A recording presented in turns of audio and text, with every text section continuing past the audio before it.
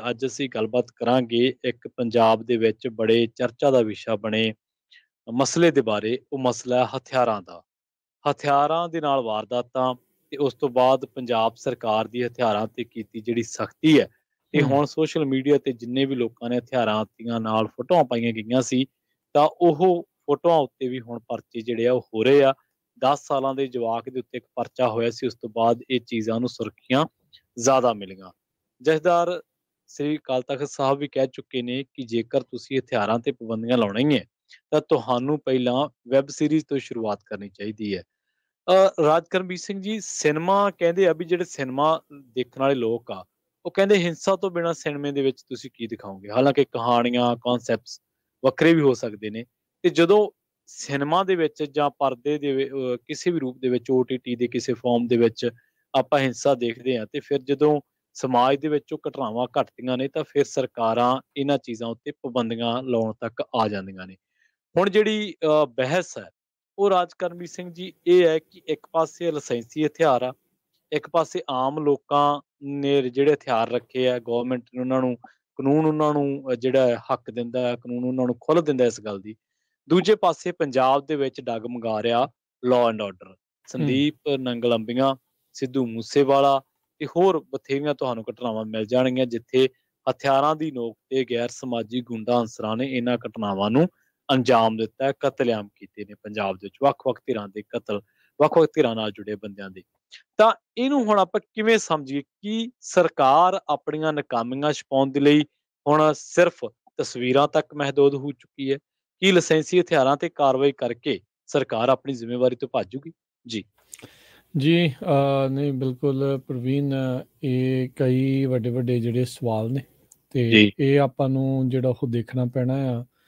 ਕਿਹਦੇ ਪਾਸੇ ਵੱਲ ਨੂੰ ਗੱਲ ਜਿਹੜੀ ਇੱਧਰ ਚੱਲ ਰਹੀ ਆ। ਉਤੋਂ ਪ੍ਰਵੀਨ ਜਿਹੜੀ ਹੁਣ ਚਲੋ ਸਖਤੀ ਜਿਹੜੀ ਕਰਨੀ ਆ ਇਹ ਸਰਕਾਰ ਦੀਆਂ ਹਦਾਇਤਾਂ ਦੇ ਅਨੁਸਾਰ ਆ। ਇਹ ਚੀਜ਼ ਜਿਹੜੀ ਦੇਖੋ ਜਦੋਂ ਤੁਸੀਂ ਜਿੱਦਾਂ ਤੁਸੀਂ ਕਿਹਾ ਵੀ ਮੂਸੇਵਾਲਾ ਨੰਗਲ ਅੰਬੀਆਂ ਤੇ ਫਿਰ ਬਾਅਦ ਦੇ ਵਿੱਚ ਹੁਣ ਰੀਸੈਂਟਲੀ ਜਿਹੜਾ ਸ਼ਿਵ ਸੈਨਾ ਵਾਲਾ ਸੀਗਾ ਉਹ ਉਹ ਉਹਨਾਂ ਦੇ ਜਿਹੜੇ ਆ ਦਿਨ ਦਿਹਾੜੇ ਚਿੱਟੇ ਦਿਨ ਜਿਹੜੇ ਇਹ ਕਤਲੇਆਮ ਜਿਹੜਾ ਉਹ ਹੁੰਦਾ ਹੈ ਉਹ ਉਹ ਸਾਰਾ ਕੁਝ ਜਿਹੜਾ ਆਪਣੇ ਸਾਹਮਣੇ ਹੋਇਆ ਦੇਖਿਆ। ਤੇ ਫਿਰ ਹੁਣ ਅਚਨਚੇਤੇ ਮੈਂ ਦੇਖ ਰਿਹਾ ਵੀ ਇਹ ਇਸ ਪਾਸੇ ਵੱਲ ਨੂੰ ਜਿਹੜੀ ਸਰਕਾਰ ਆ ਉਹ ਉੱਲ ਰਹੀ ਆ। ਹੁਣ ਉਹਦੇ ਵਿੱਚ ਆਪਾਂ ਆਪਾਂ ਕਿੰਨੀਆਂ ਦੀ ਖਬਰਾਂ ਇੱਥੇ ਕੀਤੀਆਂ ਸੁਣੀਆਂ ਸਾਰਿਆਂ ਨੇ ਪੜ੍ਹੀਆਂ ਵੀ ਲਗਾਤਾਰ ਜਿਹੜੇ ਨੰਬਰ ਨੇ ਆંકੜੇ ਆ ਲਾਇਸੈਂਸੀ ਹਥਿਆਰਾਂ ਦੇ ਜਿਹੜੇ ਵੱਧ ਰਹੇ ਆ ਇਸ ਨੂੰ। ਲੈ ਕੇ ਕਈਆਂ ਨੇ ਚਿੰਤਾ ਜਤਾਈ ਕਈਆਂ ਨੇ ਕੁਛ ਕੀਤਾ ਪਰ ਜੇ ਸਰਕਾਰ ਸੰਵਿਧਾਨ ਤੁਹਾਨੂੰ ਇਜਾਜ਼ਤ ਦਿੰਦਾ ਜੇ ਕੋਈ ਲੈ ਰਿਹਾ ਆ ਲਾਇਸੈਂਸੀ ਤੌਰ ਦੇ ਉੱਤੇ ਤਾਂ ਉਹਦੇ ਵਿੱਚ। ਕਿਸੇ ਨੂੰ ਕੋਈ ਦਿੱਕਤ ਜਿਹੜੀ ਉਹ ਨਹੀਂ ਹੋਣੀ ਚਾਹੀਦੀ ਉਹ। ਇੱਕ ਡਿਫਰੈਂਟ ਵਿਸ਼ਾ ਹੋ ਸਕਦਾ ਆ ਵੀ ਜੀ। ਕਿ- ਕਿਹਨੂੰ ਰੱਖਣਾ ਕਿੱਦਾਂ ਕਰਨਾ ਕਿਵੇਂ ਕਰਨਾ ਹਨਾ ਉਹ ਵੀ ਕੀ ਕੀ ਚੀਜ਼ ਹੋਵੇ ਕਿਹੜੀ ਚੀਜ਼ ਨਾ ਹੋਵੇ ਉਹ ਉਹ ਇੱਕ ਡਿਫਰੈਂਟ ਬਹਿਸ ਜਿਹੜੀ ਹੋ ਸਕਦੀ ਆ। ਪਰ ਹੁਣ ਇਸ ਦੇ ਵਿੱਚ ਪ੍ਰਵੀਨ ਕੀ ਹੋ ਰਿਹਾ ਵੀ ਇਹ ਤਸਵੀਰਾਂ ਨੂੰ ਲੈ ਕੇ ਚੰਗਾ ਜਿਹੜਾ ਆ ਖਿੱਚੋਤਾਣ ਜਿਹੜੀ ਉਹ ਚੱਲ ਪਈ। ਚੱਲ ਪਈ। ਵੀ ਹੁਣ ਵੀ ਜਿੰਨੀਆਂ ਵੀ ਸੋਸ਼ਲ ਮੀਡੀਆ ਤੇ ਤਸਵੀਰਾਂ ਆ ਪੁਰਾਣੀਆਂ ਆ ਹੁਣ 10 ਸਾਲ ਵਾਲੇ ਮੁੰਡੇ ਦੀ ਗੱਲ ਕੀਤੀ ਉਹਦੀ 4 ਸਾਲ ਵਾਲੇ ਦੀ ਫੋਟੋ ਸੀਗੀ। ਜਦੋਂ। ਉਹਦੀ ਉਹ ਫੋਟੋ ਸੀ ਤੇ ਉਸ ਤੋਂ ਬਾਅਦ ਦੇ ਵਿੱਚ ਉਤੇ ਜਿਹੜਾ ਪਰਚਾ ਦਰਜ ਕਰ ਦਿੱਤਾ ਗਿਆ ਫਿਰ ਉਹਨਾਂ ਨੇ ਮਾਫੀ ਵੀ ਮੰਗੀ ਵਾਪਸ ਵੀ ਜਿਹੜਾ ਉਹ ਮੁੰਡੇ ਤੋਂ ਤਾਂ ਪਰਚਾ ਜਿਹੜਾ ਉਹ ਲੈ ਲਿਆ।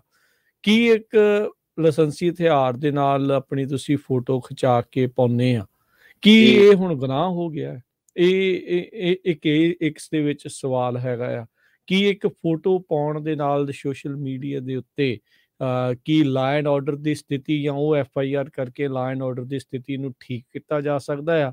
ਕਿ ਰਾਦਰ ਦਾਨ ਜਿਹੜੇ ਗੈਂਗਸਟਰ ਜਿਨ੍ਹਾਂ ਨੂੰ ਜੇਲ੍ਹਾਂ ਦੇ ਵਿੱਚੋਂ ਸ਼ਰੇਆਮ ਪੂਰਾ ਆਪਣਾ ਕਹਿ ਲਓ ਵੀ ਅਮਲਾ ਫੈਲਾ ਚਲਾਉਣ ਦਾ ਜਿਹੜਾ ਉਹਨਾਂ ਨੂੰ ਮੌਕਾ ਮਿਲਦਾ ਹੈ ਵੀ ਉਹ। ਖਤਰੇ ਵਾਲੀ ਗੱਲ ਆ। ਵੀ ਕੀ ਇੱਥੇ ਸਵਾਲ ਏਡੇ ਵੱਡੇ ਵੱਡੇ ਆ ਫਿਰ ਜਦੋਂ ਲੋਕਾਂ ਦੀ ਥੋੜੀ ਜੀ ਬੈਕਲੈਸ਼ ਹੋਈ ਫਿਰ ਕਹਿੰਦੇ ਜੀ 3 ਦਿਨ ਦੀ ਮੌਲਤ ਆ ਤਸਵੀਰਾਂ ਜਿਹੜੀਆਂ ਜੀ ਲਾ ਲਓ ਹੁਣ ਇਹਦੇ ਵਿੱਚ ਇਹ ਸੀਗਾ ਵੀ ਸਾਰੇ ਜਣੇ ਆਪ ਵੀ ਫਸਦੇ ਸੀਗੇ ਵਿੱਚ ਹੀ। ਕਈ ਐਮਐਲਏ ਸੀਗੇ ਅਨਮੋਲ ਗਗਨ ਮਾਨ ਇਹਦੀਆਂ ਤਸਵੀਰਾਂ ਆਈਆਂ ਇੱਥੋਂ ਤੱਕ ਕਿ ਮੁੱਖ ਮੰਤਰੀ ਭਗਵੰਤ ਮਾਨ ਨਾਲ ਬੱਬੂ ਮਾਨ ਤੇ ਹੋਰ ਪਤਾ ਨਹੀਂ ਕਿਹੜੀਆਂ ਕਿਹੜੀਆਂ ਤਸਵੀਰਾਂ ਜਿਹੜੀਆਂ ਲੋਕਾਂ ਨੇ ਕੱਢ ਕੱਢ ਕੇ ਦਿਖਾਤੀਆਂ ਵੀ ਭਾਈ ਆ ਵੀ ਤਾਂ ਸੀਗੀਆਂ। ਇਹਨਾਂ ਦਾ ਕੀ ਜਿਹੜਾ ਹੁਣ ਤੁਸੀਂ ਕਰਨਾ ਆ ਉਹ ਗਾਣਿਆਂ ਦੇ ਉੱਤੇ ਐਕਸਪ੍ਰੈਸ਼ਨ ਵਾਲੇ ਨੂੰ ਲੈ ਕੇ ਉਹ ਕਹਿੰਦੇ ਜੀ। ਹਥਿਆਰ ਜਿਹਦੇ ਵਿੱਚ ਪ੍ਰਮੋਟ ਕਰਦੇ ਆ ਉਹਦੇ ਤੇ ਜਿਹੜੀ ਅਸੀਂ ਰੋਕ ਲਾਉਣੀ ਆ ਤੇ ਉਸ ਦੇ ਉੱਤੇ ਇਹ ਸਾਰਾ ਕੁਝ ਕਰਨਾ ਆ। ਫਿਰ ਬੜੇ ਸਵਾਲ ਨੇ। ਇੱਕ ਪਾਸੇ ਲੋਕ ਕਹਿੰਦੇ ਆ ਵੀ ਇਹਨਾਂ ਗਾਣੇ ਵਾਲਿਆਂ ਨੇ ਕਲਚਰ ਨੂੰ ਖਰਾਬ ਕੀਤਾ ਫਿਰ ਦੂਜੇ ਪਾਸੇ ਇੱਕ ਇਹ ਵੀ ਪਾਖੇ ਦਾ ਆਉਂਦਾ ਹੈ ਵੀ ਕੀ ਫਿਰ ਬੋਲਣ ਦੀ ਆਜ਼ਾਦੀ ਹੈ? ਕਿ ਨਹੀਂ ਹੈਗੀ ਐਕਸਪ੍ਰੈਸ਼ਨ ਦੀ ਆਜ਼ਾਦੀ ਹੈ? ਕੀ ਪੁੱਛ ਕੇ ਬੋਲਣਾ ਹੈ ਜਾਂ ਕਿੱਦਾਂ ਬੋਲਣਾ ਹੈ ਸੋ ਇਹ ਇਹ ਬੜੇ ਬੜੇ ਜਿਹੜੇ ਸਵਾਲ ਨੇ ਇਸ ਟਾਈਮ ਸਾਹਮਣੇ। ਸੋ ਤੇ ਤੁਸੀਂ ਵੀ ਆਪਣੇ ਜਿਹੜੇ ਵਿਚਾਰ ਸਾਂਝੇ ਕਰ ਸਕਦੇ ਹੋ ਕਾਲ ਕਰ ਸਕਦੇ ਹੋ ਨੰਬਰ 408272 ਦੇ ਉੱਤੇ। ਤੇ ਇਹ ਜਿਹੜਾ ਤੁਸੀਂ ਜ਼ਰੂਰ ਆਪਣੇ ਵਿਚਾਰ ਸਾਂਝੇ ਕਰਿਓ ਵੀ ਕੀ ਤੁਹਾਨੂੰ ਲੱਗਦਾ ਆ ਵੀ ਸੋਸ਼ਲ ਮੀਡੀਆ ਤੋਂ ਤਸਵੀਰਾਂ ਲਹਾ ਕੇ ਇਹ ਸਾਰਾ ਕੁਝ ਜਿਹੜਾ ਉਹ ਕਰਕੇ ਪੰਜਾਬ ਦੇ ਵਿੱਚ ਇਹ ਜਿਹੜੀ ਸਥਿਤੀ ਆ ਜਾਂ ਹਥਿਆਰਾਂ ਨੂੰ ਲੈ ਕੇ ਆ, ਵੀ ਉਹ ਕਾਬੂ ਦੇ ਵਿੱਚ ਆ ਸਕੂਗੀ ਜਾਂ ਨਹੀਂ? ਸੋ ਤੁਸੀਂ ਵੀ ਆਪਣੇ ਵਿਚਾਰ ਸਾਂਝੇ ਕਰਿਓ। ਨੰਬਰ 408272 272 5200 4082725200 ਦੇ ਉੱਤੇ। ਹਾਂਜੀ, ਬਿਲਕੁਲ। ਇਹ ਤੇ ਸਰਕਾਰ ਨੂੰ ਸਵਾਲ ਤਾਂ ਹੁੰਦੇ ਰਹਿਣਗੇ, ਖਾਸ ਤੌਰ ਤੇ ਇਸ ਜਿਹੜੀ ਸਰਕਾਰ ਦੀਆਂ ਗਤੀਵਿਧੀਆਂ, ਸਰਕਾਰ ਦੀਆਂ ਕਾਰਵਾਈਆਂ ਲੋਕਾਂ 'ਤੇ ਕੀਤੀਆਂ ਜਾ ਰਹੀਆਂ। ਉਹ ਤਾਂ ਕਰਕੇ ਸਵਾਲਾਂ ਦੇ ਘੇਰੇ ਦੇ ਵਿੱਚ ਵੀ ਹੈ ਕਿਉਂਕਿ ਸਰਕਾਰ ਨੂੰ ਲੱਗਦਾ ਹੈ ਕਿ ਇਹ 4-5 ਲੋਕਾਂ ਤੇ ਕਾਰਵਾਈ ਕਰਕੇ ਅਸੀਂ ਇਸ ਕੰਮ ਨੂੰ ਠੰਡੇ ਬਸਤੇ ਦੇ ਵਿੱਚ ਪਾ ਦੇਾਂਗੇ ਹੁਣ ਦੇਖੋ, ਇੱਕ ਪਾਸੇ ਇਹ ਤੁਹਾਨੂੰ ਪਤਾ, ਯਾਦ ਹੋਣਾ ਰਾਜਕਰਮਵੀਰ ਸਿੰਘ ਜੀ, ਪਹਿਲਾਂ ਵੀ 4 ਕੁ ਮਹੀਨੇ ਪਹਿਲਾਂ ਇਹ ਜਿਹੜੀ ਬਹਿਸ ਆ ਬਹੁਤ ਜ਼ਿਆਦਾ ਚੱਲੀ ਸੀ।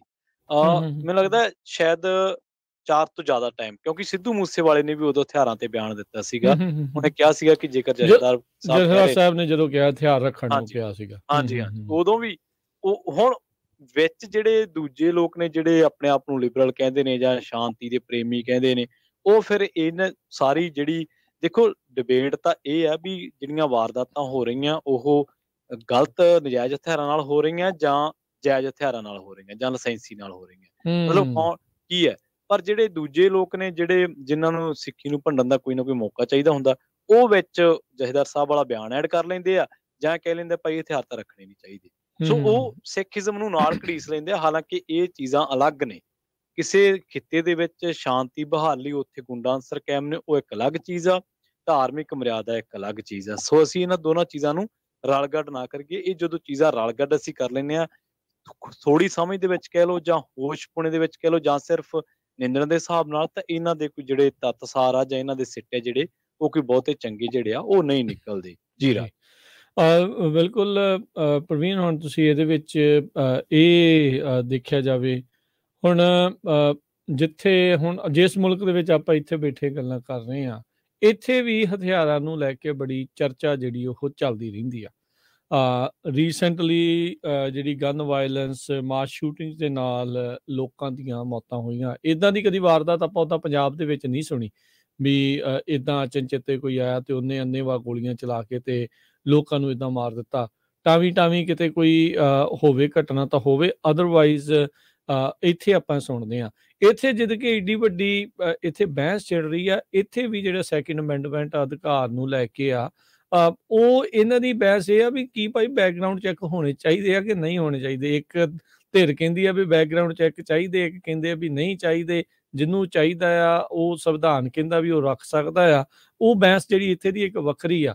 ਪਰ ਬਹੁਤ ਵਾਰੀ ਇਹ ਜਿਹੜੇ ਸਵਾਲ ਜਾਂ ਉਹ ਚੀਜ਼ ਜਿਹੜੀ ਆਉਂਦੀ ਆ, ਕੀ ਸ਼ਾਂਤੀ ਹਥਿਆਰਾਂ ਦੇ ਨਾਲ ਉਹ ਤੋਂ ਬਗੈਰ ਨਹੀਂ ਆ ਸਕਦੀ? ਤੇ ਉੱਥੇ ਜਵਾਬ ਜਿਹੜਾ ਬੜਾ ਸਰਲ ਜਿਹਾ ਆ ਵੀ ਦੁਨੀਆ ਦੇ ਜਿੰਨੇ ਵੱਡੇ ਮੁਲਕ ਆ, ਛੋਟੇ ਆ, ਵੱਡੇ ਆ ਜਿੰਨੇ ਵੀ ਉਹਨੇ ਹਰ ਇੱਕ ਨੇ ਆਪਣੀ ਆਰਮੀ ਬਣਾਈ ਆ ਹਰ ਇੱਕ ਨੇ ਚੜ੍ਹਦੇ ਤੋਂ ਚੜ੍ਹਦਾ ਆਪਣਾ ਹਥਿਆਰ ਰੱਖਿਆ ਆ ਵੀ ਆਪਣੇ ਆਂਢੀ ਗਵਾਂਡੀਆਂ ਨੂੰ ਦੱਬ ਕੇ ਰੱਖਿਆ ਜਾਵੇ। ਹੁਣ ਭਾਰਤ ਤੇ ਪਾਕਿਸਤਾਨ ਦੇ ਦਰਮਿਆਨ ਜੇ ਦੇਖਿਆ ਜਾਵੇ ਤਾਂ ਲੜਾਈਆਂ ਹੋਈਆਂ ਪਰ ਜਦੋਂ ਤੋਂ ਦੋਨੋਂ ਹੀ ਜਿਹੜੇ ਪਰਮਾਣੂ ਸ਼ਕਤੀਆਂ ਬਣੀਆਂ ਆ ਉਸ ਤੋਂ ਬਾਅਦ ਦੇ ਵਿੱਚ ਸਭ ਨੂੰ ਹੀ ਪਤਾ ਆ ਵੀ ਭਾਈ ਜੇ ਇੱਕ ਛਿੜਿਆ ਤੇ ਫਿਰ ਸਾਰੇ ਛਿੜਦੇ ਆ ਤੇ ਉੱਥੇ ਪ੍ਰੋਬਲਮ ਕਿੱਦਾਂ ਦੀ ਆਉਣੀ ਆ। ਸੋ ਚੜਦੇ ਤੋਂ ਚੜਦੇ ਹਥਿਆਰ ਨੇ ਸ਼ਾਂਤੀ ਸਗੋਂ ਜ਼ਿਆਦਾ ਕਾਇਮ ਕੀਤੀ। ਕਈ ਤੇ ਦੇਖਣ ਨੂੰ ਇਹ ਚੀਜ਼ ਲੱਗਦੀ ਆ। ਤੇ ਹੁਣ ਇਹ ਸਾਰੀਆਂ ਚੀਜ਼ਾਂ ਹਾਂ ਜਿਨ੍ਹਾਂ ਨੇ ਝੂਠ ਬੋਲ ਕੇ ਗਲਤ ਤਰੀਕੇ ਦੇ ਨਾਲ ਜਿਹੜੇ ਉਹ ਲਏ ਆ ਹਾਂ ਉਹਦੀ ਤੁਸੀਂ ਕਰੋ ਜਾਇ ਦੇਖੋ ਵੀ ਕਿਹੜਾ ਜਾਇਜ਼ ਆ ਕਿਹੜਾ ਨਹੀਂ ਆ ਜੇ ਕਿੱਦਾਂ ਉਹਨਾਂ ਨੂੰ ਲਾਇਸੈਂਸੀ ਜਿਹੜੇ ਆ ਹਥਿਆਰ ਮਿਲ ਗਏ। ਉਹਦੇ ਵਿੱਚ ਲੋਕਾਂ ਦੀ ਤੇ ਘੱਟ ਮੈਨੂੰ ਲੱਗਦਾ ਤੁਹਾਡੀ ਬਿਊਰੋਕ੍ਰੇਸੀ ਦੀ ਜ਼ਿਆਦਾ ਪ੍ਰੋਬਲਮ ਹੋਊਗੀ ਵੀ ਉਹਨਾਂ ਨੇ ਰਿਸ਼ਵਤ ਲੈ ਕੇ ਦਿੱਤੇ ਆ ਜਾਂ ਕਿੰਨੇ ਕਿੱਥੇ ਆ ਹਨਾ? ਵੀ ਉਹਦੇ ਉਹਦੇ ਵਿੱਚ। ਉਹਦੇ ਵਿੱਚ ਤਾਂ ਉਹ ਚੀਜ਼ ਜਿਹੜੀ ਜ਼ਿਆਦਾ ਦੇਖੀ ਜਾਂਦੀ ਕਿਉਂਕਿ ਇਹ ਇਹ ਮਸਲਾ ਇੱਕ ਥਾਂ ਦਾ ਨਹੀਂ ਕਈ ਥਾਵਾਂ ਦੇ ਉੱਤੇ ਜਿਹੜੇ ਇਦਾਂ ਦੀ ਚੀਜ਼ ਵਾਪਰੀ ਹੋਣੀ ਆ। ਸੋ ਇਹ ਇਸ ਨੂੰ ਜਿਹੜਾ ਦੇਖਣਾ ਬਣਦਾ ਆ। ਵੀ ਕੀ ਚੀਜ਼ ਜਿਹੜੀ ਇਸ ਟਾਈਮ ਚੱਲ ਰਹੀ ਆ ਇੱਕ ਕਿਹੜਾ ਨੈਰੇਟਿਵ ਚੱਲ ਰਿਹਾ ਆ।